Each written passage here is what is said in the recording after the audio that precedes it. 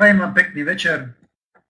Vítajte na technicko-informačnom webinári spoločnosti Skyward Community. tak ako každý štvrtok podávam e, informácie, ktoré sa týkajú takých technických e, záležitostí. A pre dnes e, som si pripravil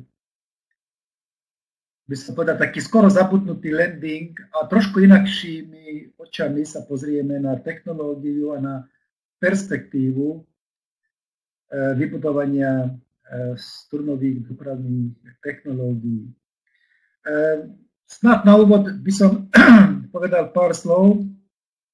Ja som mal dnes meeting s, povedal, so, s expertnou skupinou E, takou reprezentatívnou e, skupinou alebo reprezentatívnymi kolegami, ktorí majú samozrejme všetci pozície expertov, aby sme pripravili meeting na budúci týždeň.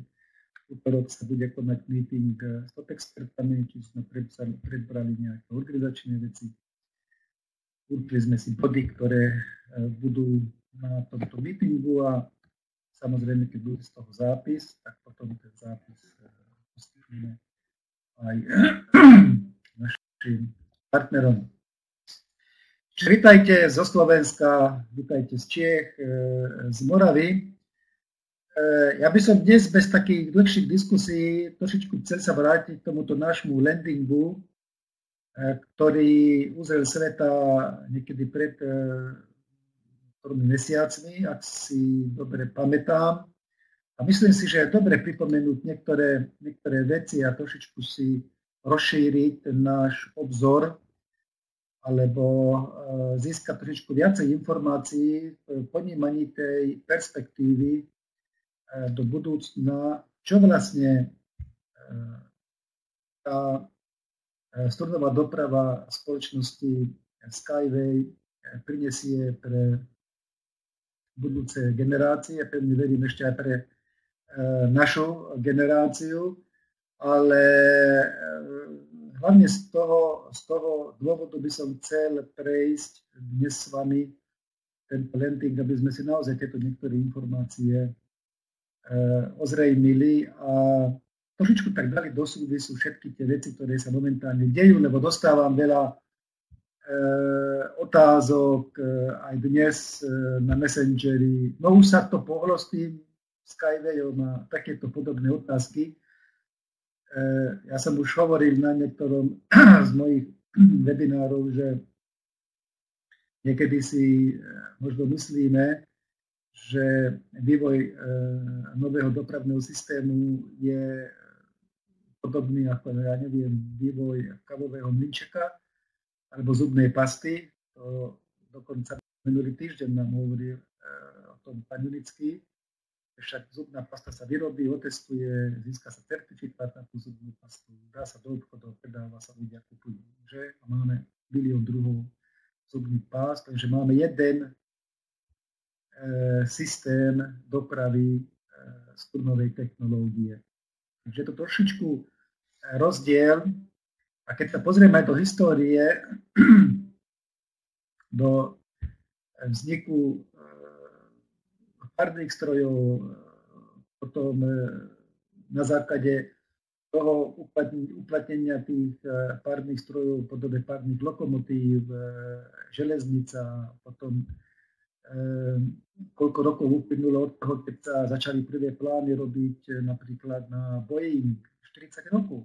To sú všetko známe, známe fakty, konec koncov vývoj automobilizmu a tak ďalej. Všetko potrebuje svoj čas a Samozrejme, zámerom tejto prezentácie, ako som už hovoril, je trošičku si ozrejmiť tie informácie, ktoré sa týkajú tak viac menej tej technológie, viac menej tej budúcnosti. A koľko sa snažím ja tieto štvrtky za každým zamerať na nejaký ucelený, eh, na, na, na nejaký ucelený prvok.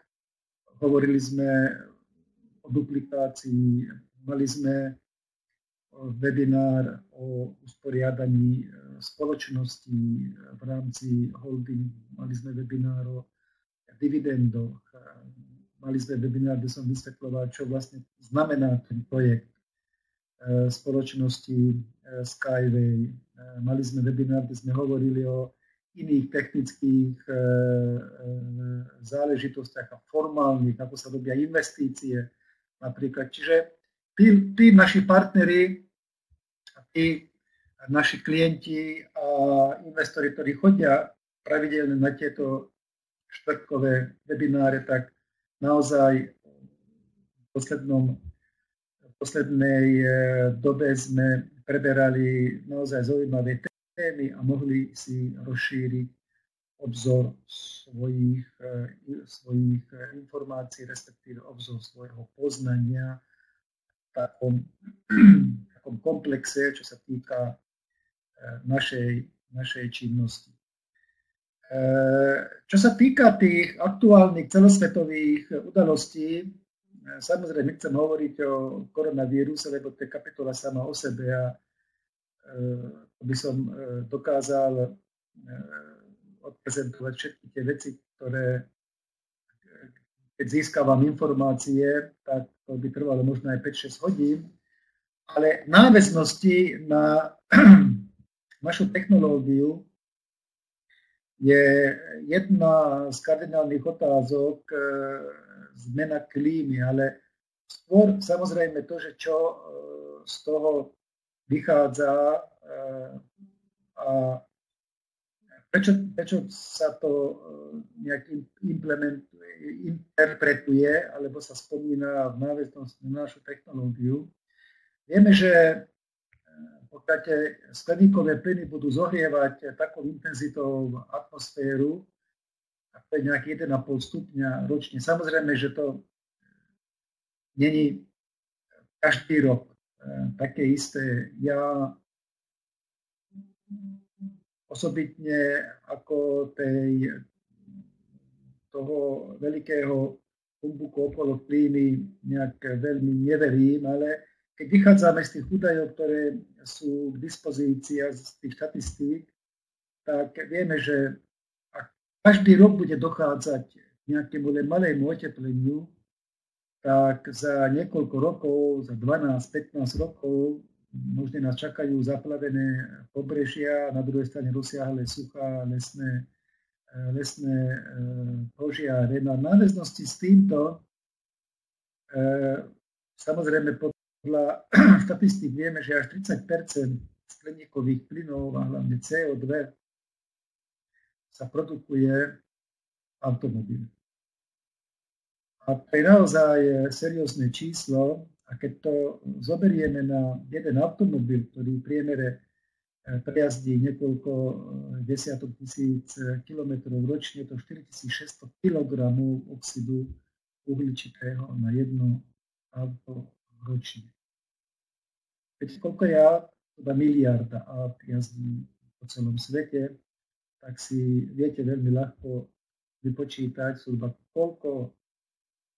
Tisícky tón, tisícky tón oxidu uhličitého sa vyprodukuje len jazdením automobilmi každý rok. A samozrejme, v náväznosti na to, že sa zvyšuje počet automobilov, sa budujú nové cesty, budujú sa nové, nové železnice.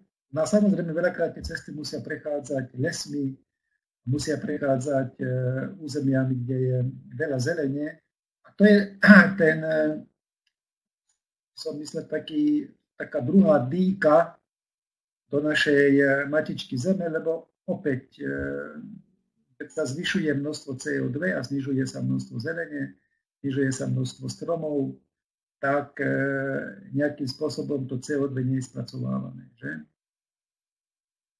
A keď hovorím o tom, že sa akým tempom zvyšuje pôd a zakrytie pôdy asfaltom, tak v dnešnom čase to je zhruba 200 tisíc km štvorcových. To myslím ako 5 rozlok Veľkej Británie. Takéto množstvo e, pôdy zeme sa nachádza pod asfaltom. Keď už e, Nehovoríme, že toto celé má samozrejme, ten automobilizmus má ohromne negatívny vplyv na ľudstvo aj z hľadiska úmrtí. Vieme, že 1,5 milióna ľudí každým rokom zomrie pod kolesami aut, ďalších 10 až 15 miliónov je doživotne postihnutých z dôvodu dopravných nehôd. Samozrejme, tak ako na ľudí má to vplyv aj na zvieratá a milióny zvierat každý rok pod kolesom. A to sú desiatky miliónov, nakoľko Spojených štátov 1 milión zvierat za ním denne. To sú obrovské čísla a z toho vyplýva aj to, že 2,5 násobne sa znížil počet divokých zvierat za posledných 50 rokov. Ešte 50 rokov a určité druhy e, úplne, úplne vyhnú. Tak ako zvyknem hovoriť aj v tých mojich prezentáciách útorok, čo zvyknem mať e, tú základnú prezentáciu, že naozaj celé ľudstvo hľadá riešenie. A môžeme sa vyhovárať, alebo môžeme hovoriť to, čo chceme, zatiaľ to riešenie nenašli. Ono je vytipovaný spôsob dopravy a je vytipované, kde by tá doprava mohla byť, samozrejme na druhej úrovni, ale všetky tie klasické riešenia, ktoré doteraz sa, na ktorých sa doteraz robilo, aj na tej druhej úrovni. Opäť pripomenie uh, magneticko-levitujúci systém je nezrealizovateľný z viacerých dôvodov. Jednak z dôvodov ťažkopádnosti, jednak z dôvodov spotreby materiálov, jednak z dôvodu bezpečnosti, jednak z dôvodu vysokých investičných nákladov, jednak z dôvodu vysokých prevádzkových nákladov. Nie je to proste možné utiahnuť výstavbu takéhoto dopravného systému. Samozrejme, že tie dielčie riešenia sú, ja som veľakrát, veľakrát spomínam, eh, elektromobil, elektromobily, eh, hovorí sa o lanovkách, hovorí sa o zubačkách, hovorí sa o rôznych dopravných systémoch, ktoré v nejakých oblastiach ten problém eh, s dopravou máličko rieši. Ale neriešia ten globálny problém, ktorý je už z roka na rok neznesiteľnejší. Má väčšie a väčšie negatívne drastické dopady. A my eh, všetci vieme, že tak ako som hovoril, že sa zavádzajú rôzne eh, nové systémy, vznikajú nové technológie. Ale čo je na tom zaujímavé, že tá spotreba tých zdrojov tá len stúpa každým rokom. Zavádzajú sa elektromobily. Používajú sa rôzne e, prístroje, výfukové filtre.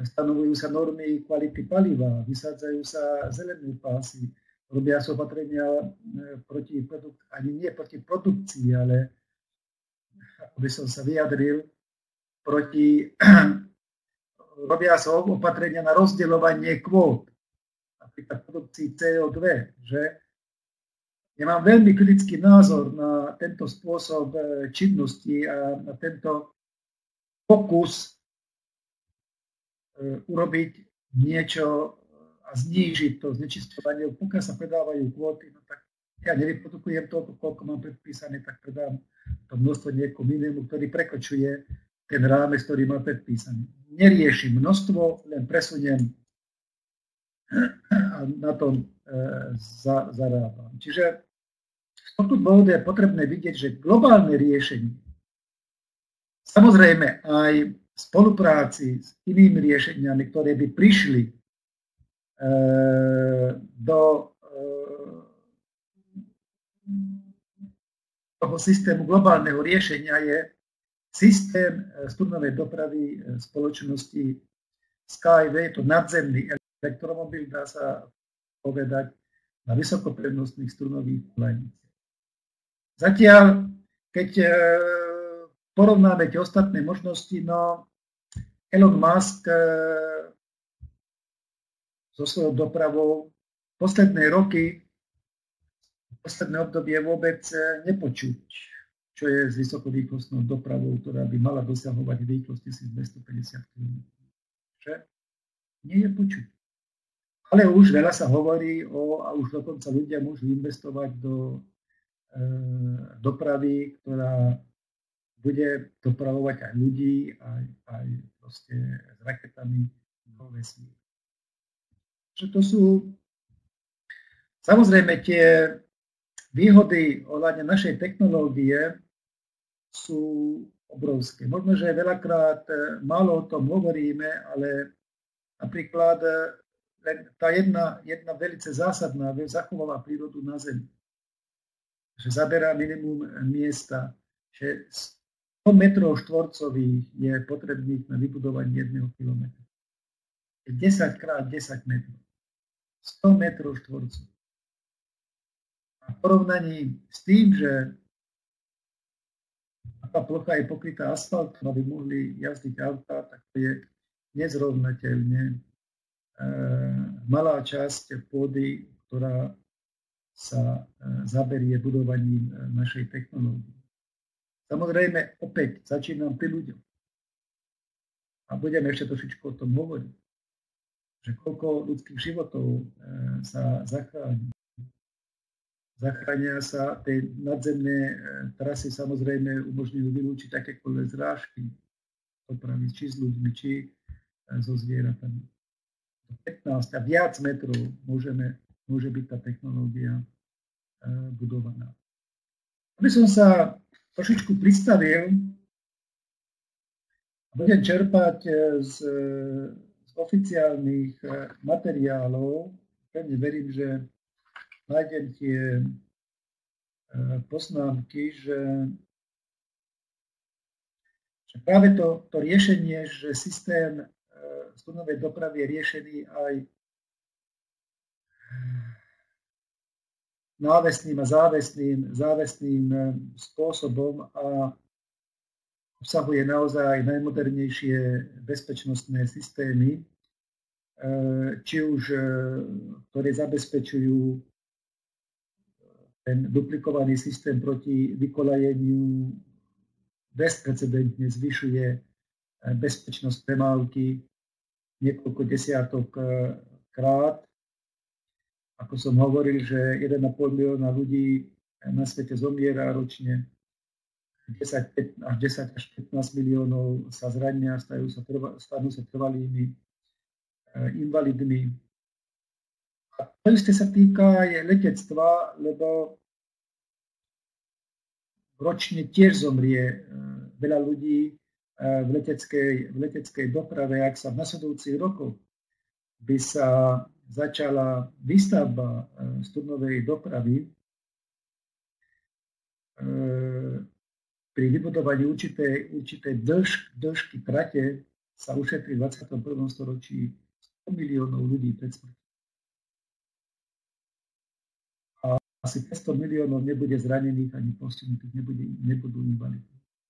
To sú ohromné čísla a keď veľakrát sa zamýšľam aj ja, že prečo proste si kompetentní ľudia, eh, politici, lebo ja tiež nemám dobré skúsenosti aj tu na Slovensku, ja som už viackrát hovoril, som naštívil niekoľkokrát kanceláriu Národnej rady, hovoril som s tromi ministrami dopravy,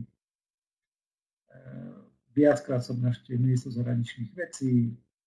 Ak by proste tie informácie obchádzali tých eh, politikov a nie sú ochotní proste sa nad tým, nad tým absolútne zamýšľať. Či je naozaj záujme týchto elít, aby sa takýmto spôsobom znižovalo počet úmrtí. Takýmto spôsobom znižovalo počet postihnutých ľudí. Naozaj veľakrát mám taký dojem, že ten interes, ten záujem o to vôbec, vôbec nie, nie je. A to sú naozaj grandiózne čísla, a nehovoriac samozrejme o tých ďalších aspektoch ohľadne životného prostredia a spotreby surovín, spotreby zdrojov. Ako funguje tá technológia, o tom ani veľa nebudem hovoriť, nakoľko všetci vieme, že e, jedná sa o studnovú technológiu z dôvodu, že vo vnútri tých kodanicových systémov sú natiahnuté ocelovo-uhlíkové struny, sú napnuté na určité pnutie. Potom tá kolanica je e,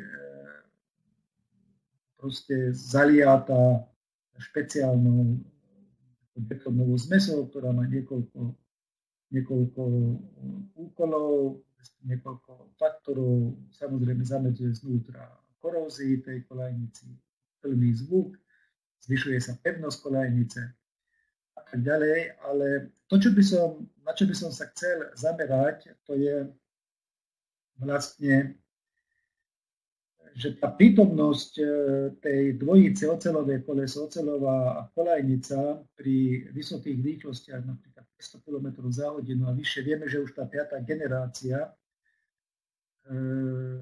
systémov e, studnovej dopravy, ktorá je už naprojektovaná, už pri nej sa dosahuje až 500 až 600 km rýchlosť, že to riešenie ocelové koleso na ocelovú e, kolajnicu pri vyšších rýchlostiach zniží odpor voči pohybu, čiže odvalovaniu koliec asi o 500 kW na jedno vozidlo, 500 kW na jedno vozidlo s hmotnosťou 2 až 3 tony. To znamená, že to je také číslo ako pri moderných elektromobiloch. Čiže každý milión takýchto železničných leteckých vozidiel e, ušetrí asi miliardu tón paliva v hodnote asi bilióna dolárov. No a samozrejme so všetkými ešte s tými vyplývajúcimi environmentálnymi výhodami asi sa ušetrí 3 miliardy, 3 miliardy tón kyslíka, sa nespáli z atmosféry, asi 15 miliard tón výfukových plynov a spáli sa neuvoľne do životného prostredia.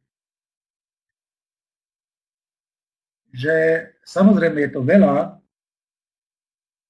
milión takýchto železničných vozňov, no ale ako som hovoril, vo svete je miliarda automobilov.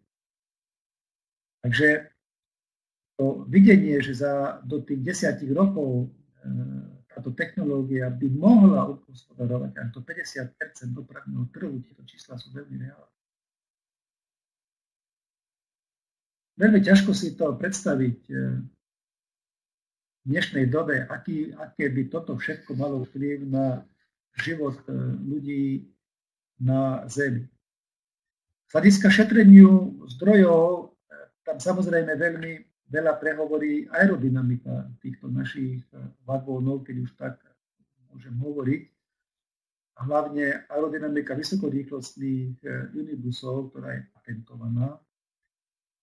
Eh, a vieme, že nakoľko tá technológia je na druhej úrovni, je tam odbúraný ten cestný efekt, tá efekt slony, čiže tá pevná podlaha pod automobilom, a bezprecedentne sa znižuje aerodynamický odpor. A keď v tomto kontexte to porovnáme napríklad Juribus kapacitou ako tradičný mikrobus, pri rýchlosti 500 km za hodinu e, bude vyžadovať o 1500 kW menší výkon motora. 1500 kW menší výkon motora. Že samotná táto výhoda umožní týmto elektrickým e, vozidlám opäť zoberieme, že by sa postavilo, vyrobilo milión týchto vysokorýchlostných unibusov a v sieti vysokorýchlostných komunikácií ročne, ročne ušetrí 1,5 miliardy tón štandardného paliva. Ročne 1,5 miliardy tón štandardného paliva. Prepočítajte si to na benzín, na naftu alebo na iný e, druh e, paliva. A samozrejme následne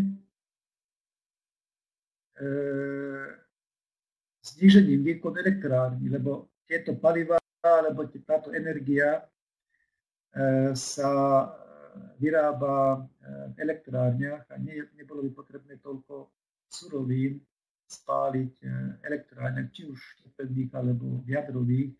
Opäť na konci s dopadom, respektíve na prvom mieste, e, s dopadmi aj životné prostredie. Čiže vidíte, ako všetko súvisí. Keď sa urobí takáto globálna zmena, tak všetko ostatné, celý život so všetkým súvisí. Pamätaj živý, živý organizmus. Keď sa urobí nejaká zmena v nejakom základnom odvete, tak to má vplyv. Keď sa neurobí zmena, a ideme ďalej takýmto spôsobom, taký tiež vplyv, ale negatívny.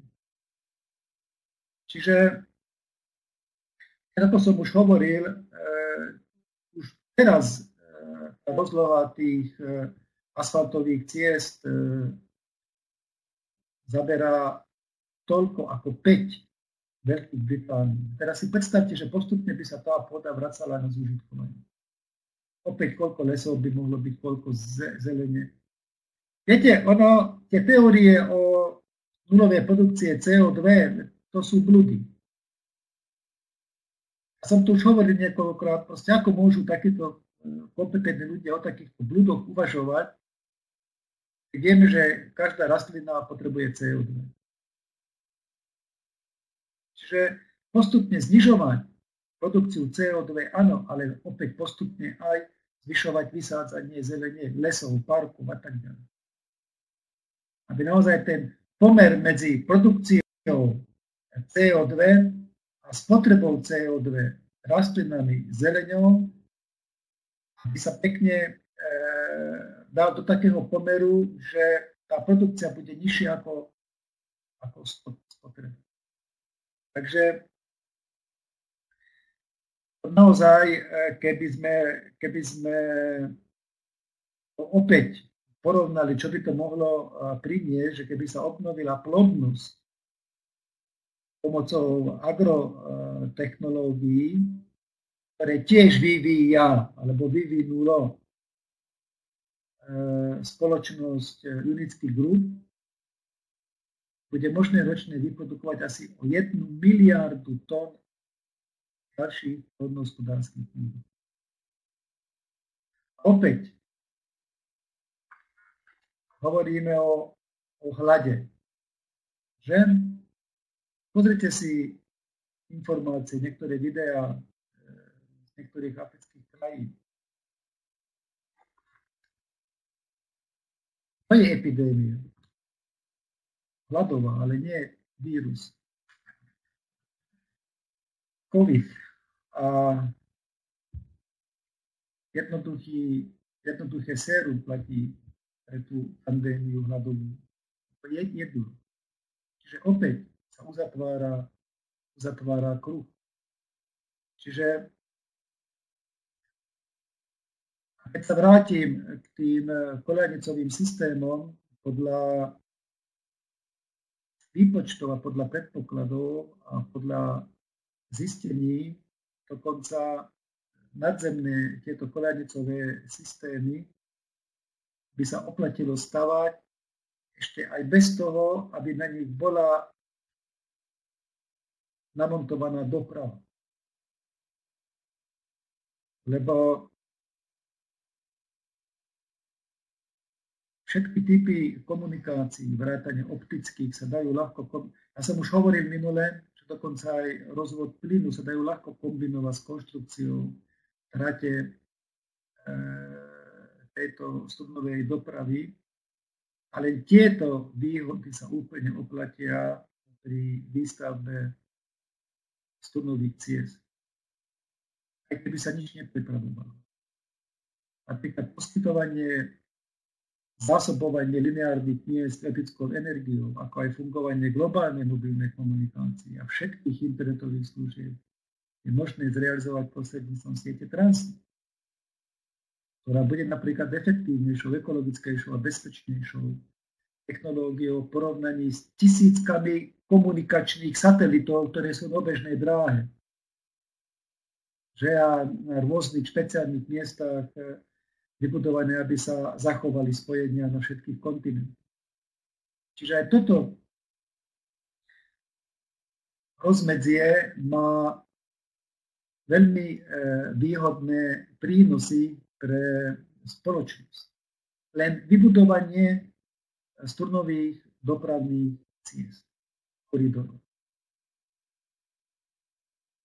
Som vás informoval, že vo Vietname sa idú budovať dve smart cities, že rozumné mesta.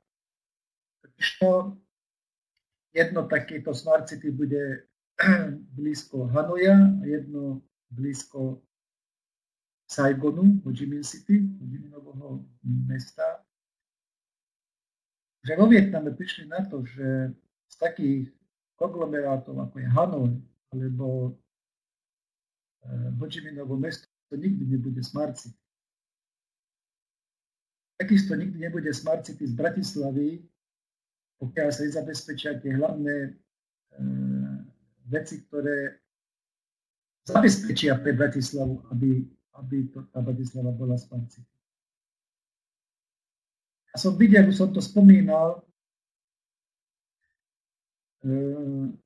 výzvy Bratislavy na ďalšie 30 rokov. Krásna prezentácia o tom e, dostavená. S krásnymi parkami, oddychovými zónami, s veľkými nákupnými centrami, krásnej ulice, jeden slajd tej prezentácii nehovorí, ako sa bude riešiť doprava. Ako sa bude riešiť komunikácia. Čo ma naozaj eh, prekvapilo, lebo v 30-ročnej vízii pre Bratislavu už by som rád videl, ako je spojený na druhej úrovni napríklad to množstvo nákupných centier ktoré majú byť postavené v Ako by bolo efektívne, ako by boli spojené efektívne tie oddychové zóny, ktoré sú vybudované, či v Petržalke, či v Bratislave. Ako je vyriešené bezproblémové spojenie mesta s Petržalkou nad, nad Dunajom. Takže na jednej strane robíme vízie, na druhej strane ignorujeme tie fakty, ktoré sú momentálne, ale ignorujeme ten vývoj a tie technológie, ktoré by tomu Smart Cities mohli eh, dopomôcť. Čiže dokončím ten Vietnam, obidvoch tých Smart Cities eh, sa bude eh, uplatňovať naša doprava, aspoň taká je predbežná dohoda, ale zásobovanie elektrickým prúdom. Takže už sa ani nehovorí, keď e, porovnáte tú dopravu napríklad toho magneticko-levitujúceho systému, tie slajdy máme, keď hovoríme o spotrebe materiálu s našou dopravou, alebo porovnáte spotrebu materiálu pri vybudovaní jedného mosta napríklad cez Dunaj s našou dopravou, tak jednoznačne pre sunovú dopravu vychádza veľmi nízka spotreba materiálu, umožní každý rok ušetriť miliardy tón neobnoviteľných prírodných zdrojov. Pri výstavbe týchto dopravných ciest, infraštruktúry a výrobe kolejových vozidel ušetrí sa oceľ, hliník, med, samé e, rôzne kompozity, cement, betón, stavebný piesok. A tak celkovo planéta potrebuje vybudovať e, v 21. storočí asi 25 miliónov kilometrov trás s našou dopravnou technológiou. A vytvorí sa globálna infraštruktúra štruktúrna sieť Transrep v kombinácii s inteligentnými lineárnymi mestami. Tak celková úspora zdrojov 21. storočí bude predstavovať niekoľko biliónov tón. Opäť, aký to má dopad v koncovke, že? Čiže preto je na mieste aj ten slogán ktorý e, spoločnosť e, Skyway má a preto tam je zamiešané aj to slovo, že záchranný podpor a záchranná Samozrejme, že veľkou výzvou je na e, toto všetko získať zdroje. Tam už vidím otázku, kedy bude 15. etapa. No, keď bude dostatok zdrojov dokonč, na dokončenie tých aktivít, ktoré teraz e, prebiehajú.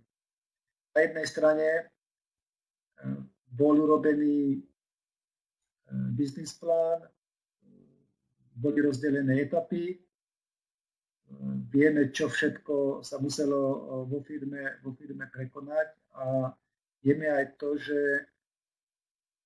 čo som už niekoľkokrát tiež hovoril, že firma trochu sa musela preorientovať na budovanie tých dopravných systémov, o ktorý je eminentný záujem. Čiže áno, samozrejme, že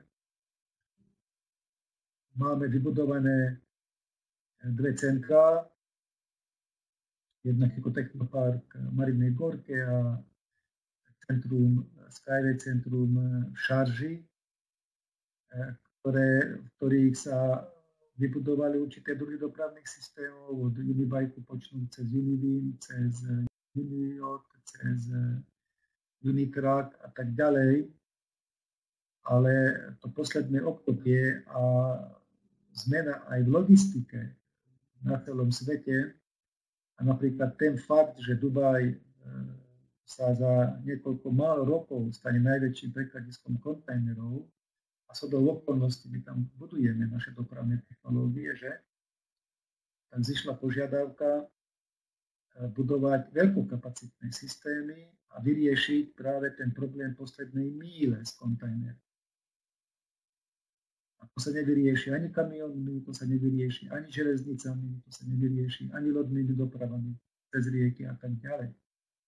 To sa vyrieši jedine eh, našim dopravným systémom, čiže riešia sa dve veľké veci, a to je preprava morských kontajnerov, veľkokapacitná osobná preprava, o ktorý je enormný záujem.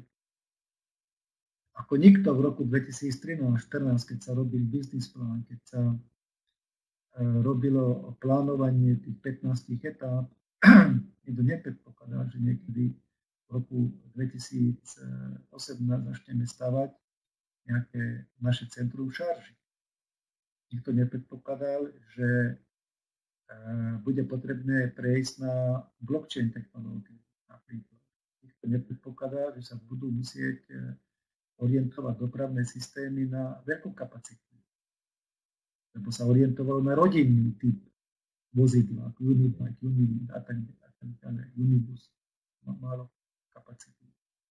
Takže z toho hľadiska e, samozrejme je potrebné aj zvýšené množstvo zdrojov. Ehm, a Levnický predpokladá, že na získanie nenávratných finančných prostriedkov v nasledujúcich troch rokoch bude potreba výšku okolo 250-350 miliónov eur na vytvorenie platformy Stream Technology. So všetkou tou infraštruktúrou a testovacími vysokorýchlostnými dopravnými systémami v dĺžke najmenej 20 km, ktoré to samozrejme e, vyžaduje. A to e, predpokladá, a preto aj sa začali jednania opäť v Bielorusku z e, ministerstva, respektíve s vládou o pridelenie pôdy, už nie cez ten les, ktorý je hneď za ekotechnoparkom, ale popri tej cesty, ktorá vedie pozdĺž ekotechnoparku z Marinej Gorky, lebo výstavba 20 25 km trase v Bielorusku je trikrát lacnejšia ako výstavba také isté trasy napríklad v Abu Dhabi. No a samozrejme, že už by sa tam počítalo aj s tou eh, rýchlostnou trubicou, má rýchlosť do 1500 km eh, za hodinu, ale to by zase potrebovalo dĺžku až 60 km. Takže to sú všetky veci, ktoré, ktoré samozrejme spolu súvisia. No a preto sa obraciame aj ako z výzvou, ja sa obraciam z výzvou, že všetko toto je potrebné zvážiť a naozaj veľmi korektne pristupovať k tomuto projektu. Ja viem, Miroslav, že každý zvedavý, kedy bude 15. etapa, no prečítajte si biznis plán alebo finančný, finančný plán, tam tie veci sú popísané, pridajte k tomu 2-2 pol roka, nakoľko vieme, z akých dôvodov je to opozdené trošičku. E, a spýtajte sa proste napríklad takú vec, alebo nikto nevie z nás, čo nás čaká budúci rok. Takisto ako sa nevedelo, že príde koronavírus. Samozrejme, že bez politizovania tí, ktorí to vedeli, tak e, myslím si, že to načasovanie bolo tiež e, urobené z určitých, určitých dôvodov, ale e, to je bezpred, bezpredmetné. Samozrejme, že spoločnosť ide dopredu, robia sa veci, z ktorých v budúcom období bude možné urobiť naozaj veľmi veľký biznis, lebo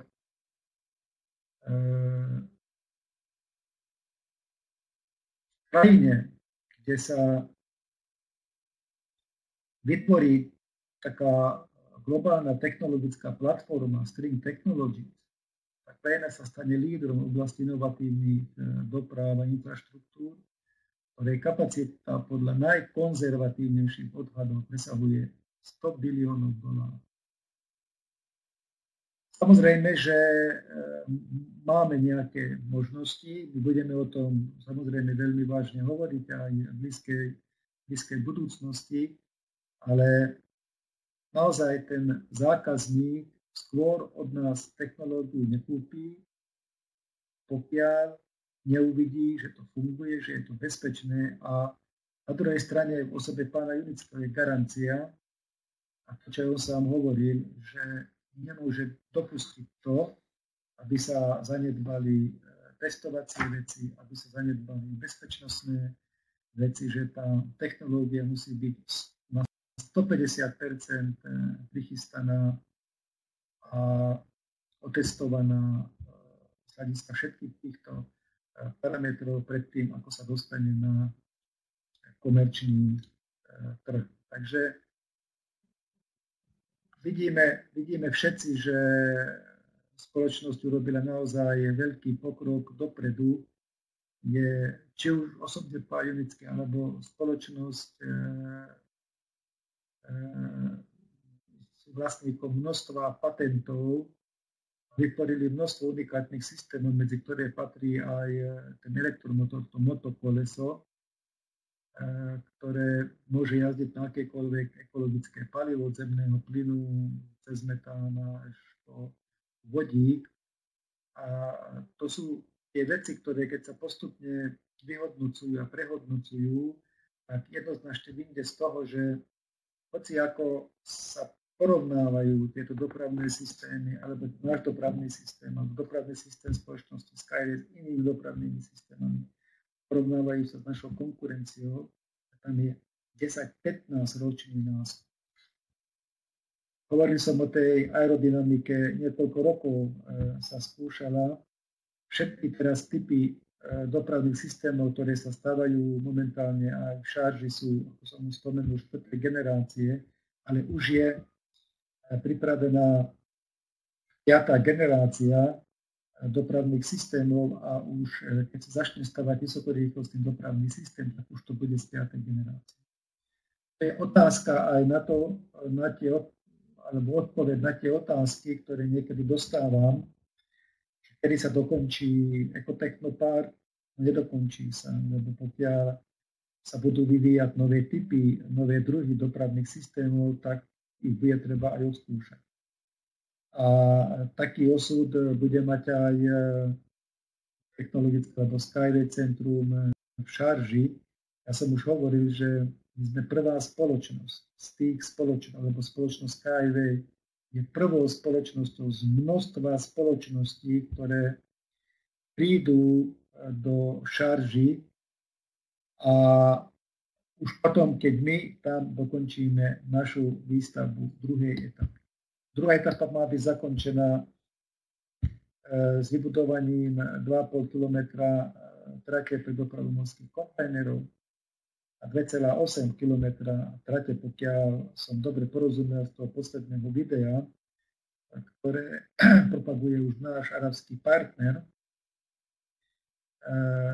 to bude vysokokapacitná doprava, osob, osobná doprava, ktorá bude dopravovať študentov do univerzity, lebo vieme, že ten Ecotechnopark alebo ten Skyway Park je Skyway Innovation Center, aby som bol presný, budovaný na 28 hektároch. Je to technopark na území americkej univerzity.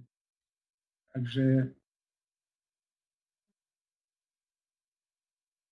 potom, ako my dokončíme túto výstavbu, tam prídu samozrejme aj tie firmy, ktoré navrhovala Eh, navrhovalo ministerstvo dopravy na schválenie pre vládu Spojených arabských emirátov.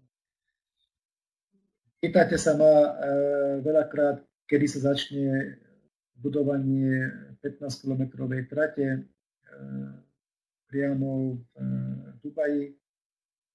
Tiež, keď sa dokončí certifikačný proces, keď sa vyberie dodávateľ tej stavby, tak sa tá výstavba začne. E, veľmi dôležité je, že naozaj technológia spoločnosti Skyway bola vybratá ako medzi prvými na vybudovanie, na, na uplatnenie priamého reálneho projektu v Dubaji. Ja už nebudem teraz nejakým spôsobom opisovať estakádu a tak ďalej, to všetci vieme. Ja som cieľom tejto dnešnej prezentácie bolo hlavne poukázať na tú perspektívu a čo sa všetko za, tým, e, za týmto projektom skrýva, na čo všetko má v budúcnosti v globále samozrejme vplyv. Šesť tratí sa postavilo v v Marinej Gorke 8 dopravných posledkov sa otestovalo, ocertifikovalo. Už niektoré teraz sa cestujú aj podľa, podľa európskych, ale podľa certifikácie, podľa predpisov Európskej únie. Je to vrátanie tropickej verzie 25-miestného mestského unibusu, ktorý je schopný pripojenia na vlaky s kapacitou pre cestujúcich do 250 a systém Unicon na prepravu námorných kontajnerov s hmotnosťou do 35 tón. To je hmotnosť čistého kontajnera. Samozrejme, naložený plný kontajner s všetkým ansáblom, čo k patrí okolo 50 tón. Tí z vás, alebo tí z nás, ktorí sme boli na ekofestivale minulý rok, všetko veľmi dobre vieme, že sme sa tam mohli povoziť. Okolo 6 tisíc návštevníkov sa previezlo tou technológiou. Áno, Unicar sa už testuje od októbra e, minulého roka. Viete, ono, e, dá sa veľa vecí urobiť aj v tom certifikačnom procese, ale jedno nevieme skrátiť, že ten certifikačný proces predpisuje aj niekoľko tisíc, teda 10 tisíc e, hodín, aby tá technológia toľko prejazdila a viete, všetko môžeme riadiť, ale nejakým spôsobom čas riadiť ešte nevieme. Takže až sa e, zaplňa všetky tie požiadavky, ktoré sú potrebné urobiť podľa toho certifikačného protokolu a jedným z tých požiadavkov je presné vymedzenie aj počet odjazde, potrebných odjazdených kilometrov pre, pre tieto dopravné systémy tak to sa nedá zvládnuť za eh, dva, dva mesiace. Že? Čo som už hovorili, v apríli minulom roku Emir Dubaja eh, schválil balíček projektov navrhnutých ministerstvom dopravy Arabských Emirátov. Medzi projektov bol zaradený dopravný systém spoločnosti Skyway, to je 15 km s 21 stanicami. Momentálne pán sa nachádza tiež v Dubaji, nakoľko 22. septembra pred dvoma dňami sa zúčastnil konferencie, ktorá bola eh, v Šarži. Určite budeme mať o tom ešte viac informácií, keď sa, keď sa vráti e, späť. Takže ťažko teraz hovoriť dopredu, e, ako sa tá situácia vyvinie. teraz myslím s covidom. Osobne podľa môjho názoru a je po tom, čo sme sa rozprávali, som sa rozprával s niektorými odborníkmi ohľadne vírov alebo virulógov, tak ten, tie názory sa rôznia.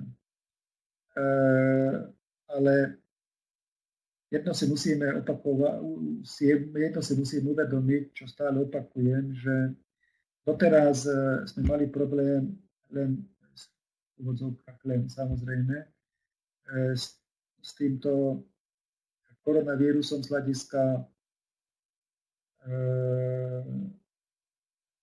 zdravotných, teraz sa riešia alebo sa vláda usiluje riešiť zdravotné následky a ešte nikto nezačal seriózne hovoriť o ekonomických následkoch. A tie budú hrozné. Takže samozrejme, že tie aktivity e, pokračujú, ale stále je otázka, aby sme my, účastníci tohto projektu, aby sme sa vedeli zabezpečiť, aby vedeli zabezpečiť eh, svoje rodiny. A veľa sme o tom hovorili aj začiatkom tohto týždňa, nakoľko pán Maslow prišiel na Slovensko, v pondelok večer sme sa stretli, prišiel autom, prejazdil okolo 1600 km z Talinu do sem na, na Slovensko, kde sme rokovali na Strednom Slovensku s našimi partnermi o možnostiach e, jedného globálneho regionálneho projektu. Učili sme si samozrejme úlohy, kompetencie, povedali sme si základné veci, čo by ako malo, malo byť. Je to veľmi zaujímavý projekt. Všetko sa urobí preto, aby do konca tohto roku sa e, tento projekt dostal do územného plánovania. Samozrejme, veľa vecí dovtedy je potrebné ešte urobiť, ale ja osobne e, pevne verím, že mohlo, mohlo by to byť a mohla by to byť taká prvá lastovička. A vychádzajúc z toho, čo som už povedal, že vytvoriť niekde tú globálnu technologickú platformu String Technology z novej dopravy, čo také Slovensko by sa nemohlo stať e, lídrom v oblasti inovatívnej dopravy infraštruktúry. Že? Dobrá úvaha. Hovorili sme mimochodom aj o týchto, o týchto veciach a môžem povedať, že u tých partnerov aj z regionálneho vedenia je veľký záujem. Hovorili sme o návšteve Minska. Takže hádam sa nám len podarí aj tu na Slovensku nejaký prvý e, pilotný projekt. A preto vás e, prosím žiadam podporu naozaj technológie. E, v týchto časoch vidíte, aká je situácia vo svete. Vidíte, že naliehavo naozaj e, svet potrebuje zmenu aj z tohto, z tohto hľadiska. A my sme jediní, ktorí tú zmenu môžeme e, priniesť. Nie takú zmenu, ktorú slubovala naša vláda, čo momentálne robí na margo toho, ale zmenu naozaj veľkú zmenu globálneho charakteru. Veď e, spoločnosť Skyway a technológia Skyway sa rozvíja vďaka crowdfundingu, vďaka nám. A určite sa využijú teda všetky možnosti, všetky možnosti, ktoré by mohli prísť, e, sa mohli ukazovať, nakoľko viete, že sa idú pridelovať e, ohromné peniaze Európskej únie cez Európsku centrálnu banku jednotlivým štátom. Určite e, skôr či neskôr sa nájdú vlastne cestičky alebo sa nájdú takí ľudia, ktorí majú kontakty na vrcholné vedenie v niektorom štáte a určite sa nájde ochota v niektorom európskom štáte alebo v niektorej krajine proste uvidieť tú ohromnú šancu eh, pre tú krajinu a sa tento, eh, tento, eh, toto centrum, to globálna tá platforma, to globálne centrum Stream Technology sa začne budovať. Toľko to k dnešnej prezentácii. Tieto slajdy už nejakým spôsobom nebudem ani komentovať, nakoľko to hovorím na každej prezentácii ohľadne investícií. E, ale skôr by som ešte povedal jednu poznámku, respektíve jeden oznám, že ja sa ešte pozriem presne dátum, aby som nehovoril vedľa. 9. októbra 9. októbra sa uskutoční konferencia, e, regionálna konferencia spoločnosti Skyward Community začiatkom o 13. hodiny po obede do 18. hodiny bude e, v hoteli Tenis vo zvolenie. Pekný hotel, to pre športovcov, to tam Maria. Samozrejme, zajtra, zajtra nachystám pozvánky, bude ten oznám vyložený v osobných kabinetoch. E, vo, vo vašich osobných kabinetoch samozrejme program bude veľmi zaujímavý, Rád vás tam všetkých uvidím, povedzte to vašim známym, priateľom.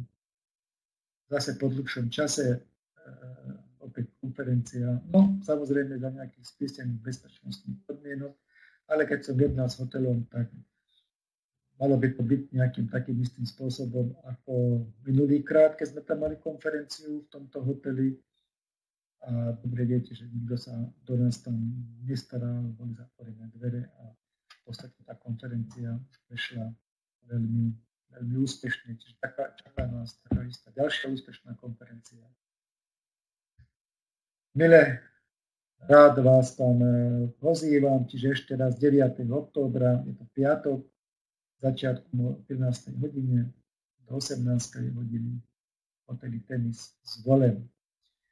Ďakujem vám dnes za pozornosť, e, prajem vám ešte pekný zvyšok dnešného večera, Prajem vám krásne sny, starajte sa o seba, starajte sa o svoje zdravie, prajem vám všetko dobré.